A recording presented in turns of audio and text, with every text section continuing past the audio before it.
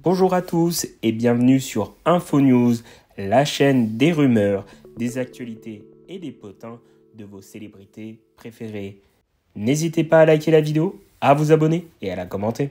La politique française ne test est au centre de l'attention. Le 9 juin dernier, Emmanuel Macron avait annoncé la dissolution et pour accéder au poste, de nombreuses personnalités du nouveau Front populaire ont souhaité que le Premier ministre démissionne.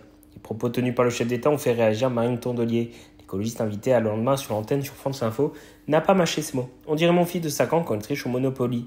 Les enfants font ça, on le sait, et nous on fait rire. On apprend à ne pas le faire et à ne pas tricher. Emmanuel Macron, les présidents de la République, il faut être sérieux. Merci à tous d'avoir aidé la vidéo.